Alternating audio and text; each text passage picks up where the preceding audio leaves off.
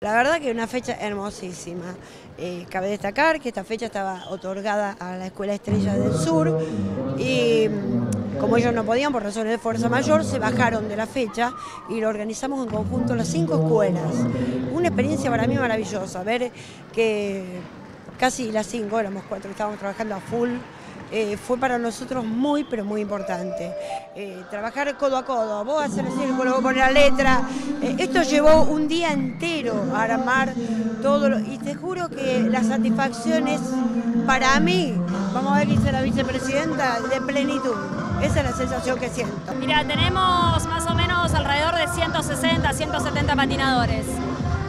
para nosotros es un número importante porque a pesar de la situación económica, la gente apuesta al deporte, la gente apuesta al, compromiso, son tres fechas, entonces bueno, tratamos de, que, de mantener el, número durante todo el año. La familia acompaña, ¿no? La familia súper acompaña, insisto, la situación económica que estamos viviendo es muy difícil y a pesar de eso nosotros no lo notamos, porque viene la mamá, el papá, la tía, el abuelo, colaboran en todo lo que se les pide, entonces nosotros la verdad no nos podemos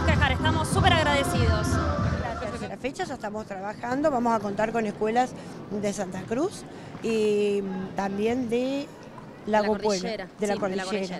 Eh, ¿La sede va a ser acá en Trelew? Va a ser aquí también en Trelew, el organizador es Patín Club Trelew en esta oportunidad.